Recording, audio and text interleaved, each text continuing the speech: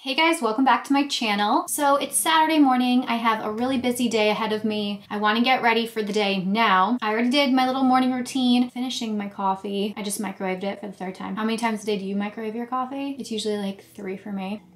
Ooh, it's hot. And now I'm just gonna do my makeup. So I figured that I would hop on camera and film a little chatty get ready with me for no other reason than I feel like it. So like I mentioned, it is Saturday morning. My husband works Saturday mornings, which is kind of nice because that means that I can work Saturday morning. So I usually try to film something and today I actually have quite a few videos to film. I'm hoping I can film three. I wanna do this one and then after this, I wanna do a try on. I haven't filmed a try on in a while because I honestly haven't shopped in a while. I've just been trying to declutter my closet closet, get rid of clothes I'm not wearing. So I just haven't felt the urge to shop. But when we were watching the Super Bowl last weekend, I saw at least two ads for a new app called Temu. I don't know if you saw it, but it was this woman like dancing around a city and kind of like tapping different people and different things and adding them to her cart. Essentially a shopping app. You may or may not know, but I'm not the biggest football fan. So while I watch and try to get invested in the game, I'm really like not. I figured why not just download this app and place an order, see what it's all about. I looked at it as a work opportunity. I figured it would be fun to place an order and then once everything arrived, try it on and just give you a full review of the app and the service and the brand, whatever. I wanna be clear because I am not into buying fast fashion. I definitely have in the past. Every once in a blue moon, like maybe once a year, once every two years, I'll place an order with a fast fashion company and I'll normally buy things that I know I'm gonna wear a lot. I'm not purchasing like trendy outfits or things that I'll wear like one and done. It's just so bad for the environment and I have a little bit of an internal moral conflict every time I place an order with an Amazon, with a Shein, with a Temu, but it's out there, it exists, people are utilizing it, people are ordering from it, and I think it's okay to try everything once. So I placed an order on Super Bowl Sunday, not expecting the order to arrive before I don't know, next week. And it was delivered this morning. About an hour ago, I got a notification that someone was at my front door and I saw that the package was left. So I was really excited because I knew I was planning to film today and I figured I'd add that to the lineup. So we're gonna see how the products hold up what the quality is like, um, and I'm just gonna review the whole app. Most of you guys come here for the manicure content, but if you didn't know, this channel, way before all the nail stuff, was primarily a beauty channel. And while I've kind of strayed away from all the beauty stuff, I don't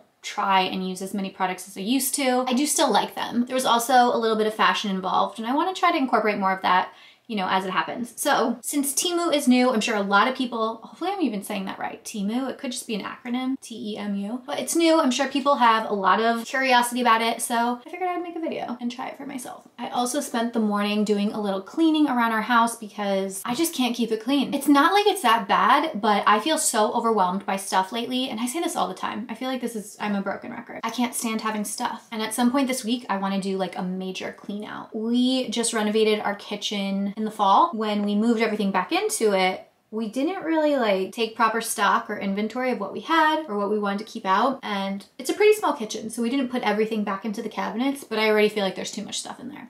So I'm gonna do a little decluttering. I am gonna reduce the amount of stuff in our cabinets at some point this weekend or this week. I just don't think we need it all. Again, we really don't have that much. We probably each have like I don't know, four, maybe five mugs. Then we have half a shelf of glasses, large plates, salad plates, bowls, but like it's just a lot. And when you have a lot of stuff, you wash a lot of stuff. You know, if you only have two bowls, every time you need a bowl, you're gonna rinse the bowl or you're gonna make sure that bowl is clean after you use it so that it's ready for your next use. Tonight we're going out to dinner with my sister, her boyfriend, and one of my girlfriends and her husband. We had plans with my sister and her boyfriend. And then my girlfriend's been trying to get together and I was like, do you want to just join us for dinner? So it'll be nice to see them. I'm really excited. It's been a while. I haven't seen her since December. She doesn't live terribly close to me, so it's a little challenging for us to get together. It's just hard with friendships and different people and personalities and like how they like to spend time together. I've become so much more of a like very low key hangout friend, if that makes sense. I love to grab breakfast with my friends. I love to do a coffee date and often they're like pretty low key, pretty last minute, and if it works, it works. I feel like that's how this kind of came together today. And I'm excited because we like don't really go out much, at least not as of late. Just the winter season and, you know, settling into our house. We've been pretty big homebodies. I feel like you go through phases like that and we're currently very much in the middle of one, which is okay. There's nothing wrong with that. Um, I've been working a lot, but I like to work. I feel like it just gives me a reason to wake up in the morning. It keeps me busy. It keeps me occupied. We're also going away soon. So I don't know. I feel like before you go away, you have to like earn your vacation. So I've been working a little harder than normal. I have so many things I want to do with Sweet Almond this year. And every time I like sit down to do them, like something else comes up. So hopefully soon You'll be seeing a lot more from Sweet Almond, my pride and joy. I love her so much. I recently got approved for Facebook and Instagram shopping, but there are a few more steps that I have to go through before that's activated, probably March. People will be able to buy directly in-app, so I'm excited about that. I don't know if any of you guys are big TikTok people. I try not to be, I really do, but I love it. It's so interesting. I learn so much. It's so captivating. Like it really is an addictive app. And you know what, if the Chinese people own it and they're spying on me, what's up? I kind of don't think you can hide from anyone or any government or anything nowadays. So what's the point in trying? Whatever they want to find out about me, I'm sure they already know. Um, but anyway, where I was going with this is the Alix Earle phenomenon. Now, I had seen her months ago, like one or two random videos would pop up in my feed and I would see everyone tagging her and mentioning her. And, and just at quick glance, she seemed like a really like booby young college girl that I had nothing in common with. I mean, at one point in my life, I would have had a lot in common with her, but today, not so much. But then I started watching her videos. I love the girl. I really love the girl for a million different reasons. Obviously, she's gorgeous. Love how she does her makeup and hair. It's so effortless. She's just beautiful. She's totally capitalizing on TikTok and the whole social media thing. The girl is the definition of a jet setter. She is going somewhere like every other day. I don't think she spends a full week in one place. The past couple weeks, she was in Dubai for the Tarte trip. Then she was like, she goes to school in Miami. She was doing something there. Then she went, I think to like Colorado or Wyoming, wherever Mikayla was. They were on a brand trip with glow something. Then she was at the Super Bowl. I don't know. She's just always somewhere. And I'm like, I don't know how she does it. I guess it's youth. You definitely have more energy when you're younger and all these opportunities are probably so exciting for her. I think she used to date a professional or semi-pro baseball player maybe and they broke up and she was kind of like screw you i'm gonna live my best life and that is how she catapulted to fame which good for her but i don't really know point of story is I'm really enjoying her content and some of the stuff she shares is super cute. So I like going down the Alix Earle rabbit hole every once in a while because like someone's got to teach us millennials what the kids are doing. And it's so weird because I feel like I was her age yesterday. Like it feels like yesterday and it feels like a million years ago. But when I think of how much older I am than her, it's kind of crazy. It's just wild like with this generation, like how they think, how they act, the confidence they have. I can't imagine growing up in today's society, like with social media and whatnot. I really can't. I would have loved to think I was someone who would capitalize on it, but even I was late to the blogging and the YouTube game. I mean, I started my blog in 2012, which is right around where some of the bigger bloggers were really blowing up. So people had been doing it for a few years prior. So I kind of like just missed the boom. And then I didn't have enough confidence to hop on YouTube until like 2017, 2016. I don't know if I would have ever had that like Alix Earle confidence, but it's fun to think you would. I also love to follow girls like her and just watch mindless content because the world feels so incredibly heavy lately. Just how the earth is in a very weird state. We're entering like a new world.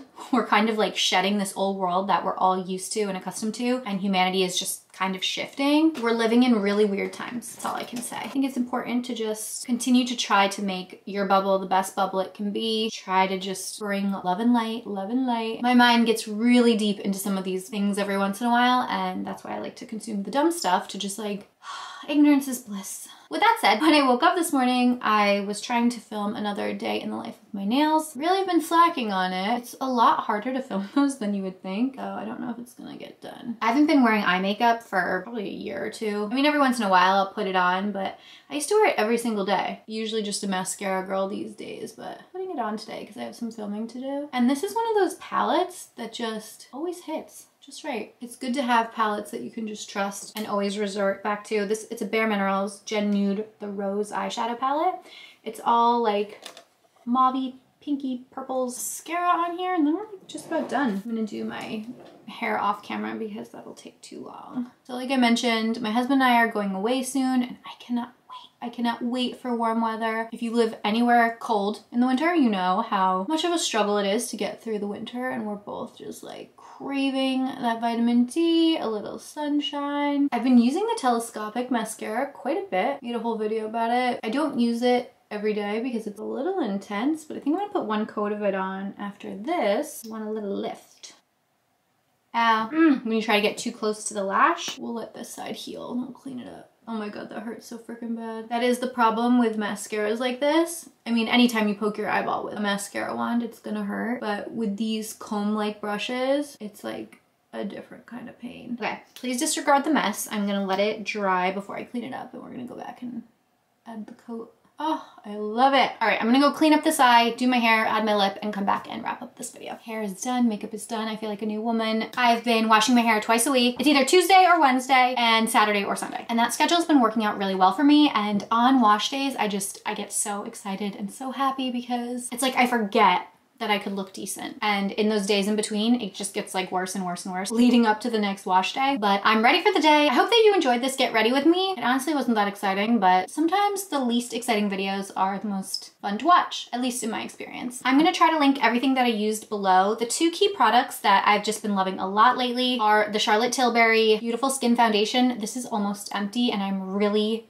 really upset about it because I absolutely love this stuff. I go through phases where I want to wear a more full coverage foundation. I also go through phases where I want to wear a BB or CC cream or just powder or nothing at all. And I'm currently in the foundation phase. I just love how this makes my skin look. It's really truly flawless. It looks like it has a filter on it. Coverage is just right. I also have been topping it with this Bare Minerals Pro. It's all cracked inside, otherwise I would open it. But this is their 16 hour skin perfecting powder foundation in the shade medium 30 neutral. The days that I don't want to wear a foundation, I'll just use this with my concealer. Otherwise, the days that I do use the foundation, I'll just use this to kind of set it and it really makes your skin look perfectly flawless. Everything else that I applied, I will be sure to link as well. That is it for this video. If you enjoy these random get ready with me's, let me know. Every once in a while, I just feel like throwing my camera on. And today was one of those days. Please give the video a thumbs up if you liked it. Subscribe to my channel if you haven't already done so. And I will see you guys in my next one. Bye.